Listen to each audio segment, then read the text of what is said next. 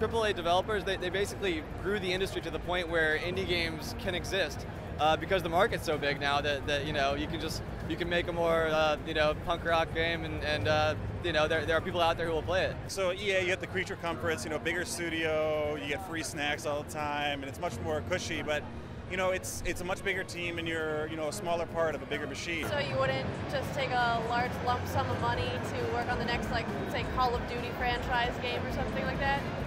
No, no, I actually I actually don't think anybody around here would would want to do that.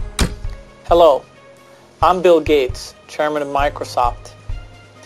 In this video, you're going to see the future. Windows.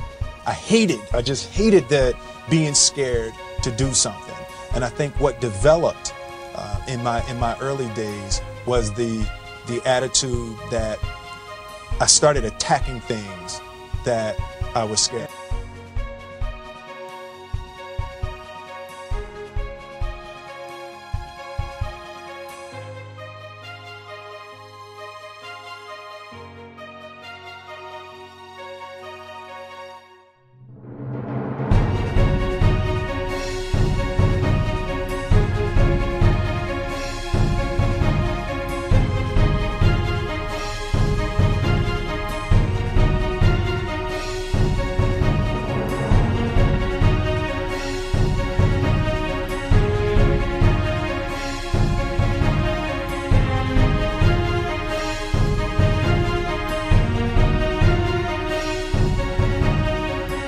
I take two weeks a year to just go off and read and think, where I'm not interrupted by work or anything else. I'm just uh, solidly trying to think about the future, and people get to send me things to read as part of that so called uh, Think Week. So it's a nice mix of things.